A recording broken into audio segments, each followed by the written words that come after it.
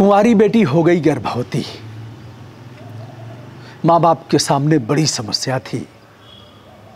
क्या करते? बेटी को समझाया बुझाया, किंतु उसने जवाब दिया कि हम भले ही कुंवारे हैं, किंतु हम उसके बच्चे को जन्म देंगे। खाल ऊंच, बहुत कुछ नीचा ऊँचा सब समझाया, बताया। लड़की राज़ी नहीं होती है। माँ बाप को लगा कि हमने जन्म दिया है, पाला पोसा है, पढ़ाया, लिखाया है। बड़ा किया, हमारी बात एक न एक दिन मान जाएगी। ऐसा करने में उन्हें सात महीने लग गए। दो महीने में ही उस कुंवारी बेटी के द्वारा एक बच्चे का जन्म होता। माँ बाप और परिवार के लोग नहीं चाहते थे कि यह उसके बच्चे को जन्म थे माता पिता का कहना था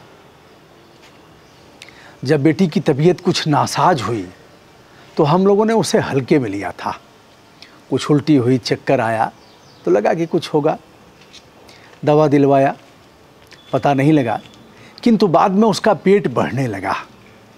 तो शक हुआ, फिर डॉक्टर को दिखाया। डॉक्टर ने देखते ही बताया, इसके गर्भ में तो बच्चा पल रहा है। पैरों की ज़मीन खिसक गई। क्योंकि उस समय पाँच महीने का गर्भ था। वह बाहर निकलती तो महिलाएँ और पुरुष बच्चे उसे घूर घूर कर देखते थे। शायद उन्हें भी इस बात का आभास हो गया था कि उसके पेट में बच्चा है। हम किसी से आँख नहीं मिला पा रहे थे, किसी के जवाब देने की हैसियत में नहीं थे और लोग शक की निगाह से हमें भी देखते थे। हमारी भी इज़्ज़त थी साहब और बेटी की वजह से प्रतिष्ठा धूल में मिल गई। अंतिम रास्ता था कि हम इसका आवारसन कराते, उस भ्रूण की हत्या कराते, डॉक्टर से बात भी कर लिया था। किंतु वह पूरी तौर से इस जिद पर अड़ी हुई थी कि हम पेट में पल रहे उसके भ्रूण की हत्या नहीं करेंगे, बल्कि जन्म देंगे। दुनिया चाहे जो भी कहे, हम इसे मारेंगे नहीं। मामला उत्तर प्रदेश के मुजफ्फरनगर का है, जहाँ माँ बाप ने अपनी सगी बेटी जो सात महीने से अधिक की गर्भवती थी, उसका कमाम, काम तमाम कर दिया। जब बेटी दो दिन, दो तीन दिन तक नहीं दिखी तो गाँव वालों को शक हुआ, फिर प्रधान ने पूछा और पुलिस को सूचना दिया कि लग रहा है कि बेटी को मार डाला गया है। पुलिस आती है, पहले तो काफ़ी टाल मटोल किया इन लोगों ने, लेकिन जब कड़ाई किया तो उसने अपना जुर्म दोनों ने कबूल कर लिया। जो कहानी बताई, उसे सोचकर आप भी सिहर जाएँगे। बेटी पढ़ने में काफ़ी अच्छी थी, जैसा कि माँ बाप ने कहा। हम दोनों ने कोई कोर कसर नहीं छोड़ा था। अच्छी नौकरी मिलेगी या पढ़ लिख लेगी तो फिर सरकारी सेवा में जाएगी फिर हम किसी नौकरी वाले अच्छे खानदान के लड़के को देखकर इसके हाथ पीले कर देंगे। देखने में वो सुंदर भी थी। पढ़ाई के लिए उसे मेरठ में एडमिशन करवा दिया गया। मेरठ हमारे घर से बहुत दूर नहीं था, ऐसा उनका कहना था। घर गृहस्थी के कुछ सामान लेने के लिए भी मेरठ जाना पड़ता था और पढ़ाई के लिए भी। इस बीच वह एक लड़के के संपर्क में आई और उससे फिर बातचीत का सिलसिला शुरू हो जाता है। कभी कभार लगा कि वह फ़ोन से किसी से बात करती है, किंतु हम लोगों ने खास तवज्जो नहीं दिया। इसलिए कि पढ़ने लिखने की बात कर रही होगी, कुछ उसकी सहेलियों के भी फ़ोन आते थे। बात करने वह छत पर जाती थी, कहीं और जाती थी तो हम लोगों ने बहुत ध्यान नहीं दिया। लेकिन लगा कि उससे कोई मिलने आता है गाँव के बाहर, और फिर एक दो लोगों ने कहा भी कि तुम्हारी लड़की से कौन मिलने आता है? कोई रिश्ते का है? कोई संबंधों का है? फिर पूछा गया तो उसने उल जलूल जवाब दिया और फिर हमने काफ़ी समझाया, बुझाया हम लोगों ने। तो वह मान गई, लेकिन यह सिलसिला रुका नहीं। मेरठ भी मिलती थी और फिर गाँव के बाहर भी मिलती थी। बाद में उसने कहा, हम उसी से शादी करेंगे, प्यार करते हैं। हम लोगों ने कहा, अभी प्यार की उम्र नहीं है, तुम्हारी अट्ठारह साल अभी उम्र होने वाली है, पढ़ लिख लो। और वह हमारे ख़ानदान जैसा नहीं है। लेकिन वह नहीं मानी हमारी जिद और हमारे अंकुश लगाने के बाद वह प्लान बनाकर एकाएक गायब हो जाती है। उसके प्यार में इस तरह से पागल थी कि हम लोगों की बात सुनने के लिए तैयार नहीं थी।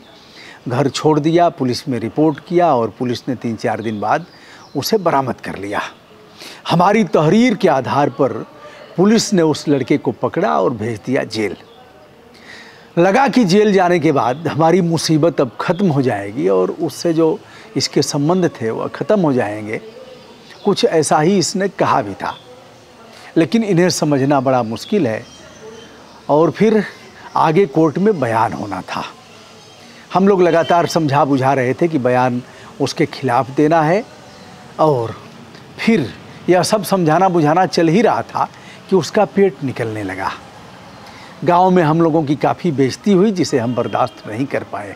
अगर वह अबार्सन के लिए तैयार हो जाती तो हम उसके साथ ऐसा नहीं करते। साहब अपने ही बच्चे को कोई मारता है क्या? कोई इस तरह की हत्या करता है क्या? माँ ने कहा, हमने नौ महीने तक उसे गर्भ में पाला था। किस तरह से हमने उसे जन्म दिया, हम ही जानते हैं, एक माँ ही जानती है। हम उसे मारते क्या? लेकिन वो अबार्सन के लिए तैयार नहीं हुई।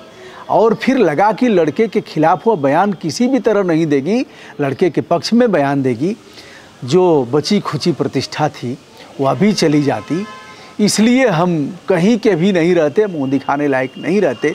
तीन दिन बाद उसकी सुनवाई कोर्ट में होनी थी और वह कोर्ट में जाती तो बयान उसके पक्ष में ही देती।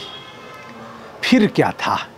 एक कठोर निर्णय लेते हुए रात को जब वह सो रही थी उसी समय हम लोगों ने गला दबाकर उसके मुँह में कपड़ा ठूस कर और फिर उसका उसके गले में रस्सी बाँध कर उसके जीवन को समाप्त कर दिया।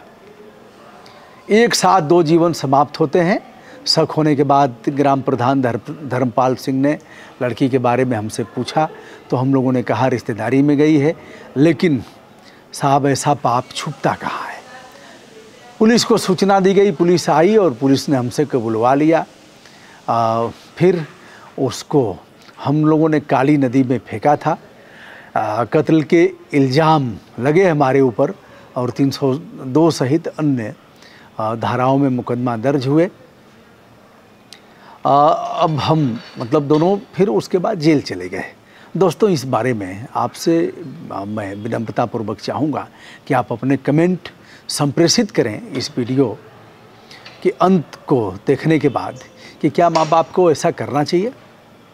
माँ बाप को ऐसा करना क्या उचित था?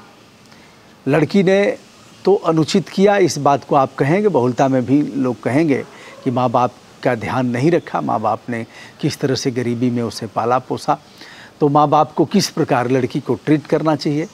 और इस प्रकरण में कहाँ कहाँ चूक हुई है? और आगे जो हसर होगा उसे आप जानते ही हैं, अपनी ही बेटी, सगी बेटी और दो दो हत्याओं के अपराध में माँ बाप जेल में है, जमानत हाई कोर्ट से नीचे नहीं होगी। और आगे इस मामले में अगर विवेचना ठीक से हुई, आरोप पत्र दाखिल हुआ तो इनके ऊपर कम से कम दस साल की सज़ा होगी और अजी, आजीवन कारावास की सज़ा भी हो सकती है। दोस्तों, आपके कमेंट आदरपूर्वक आमंत्रित किए जाते हैं। और बताएँ कि ऐसे प्रकरण हर गाँव में हैं, हर जगह हैं, क्या करना चाहिए? किसका दोष? सादर प्रणाम नमस्ते।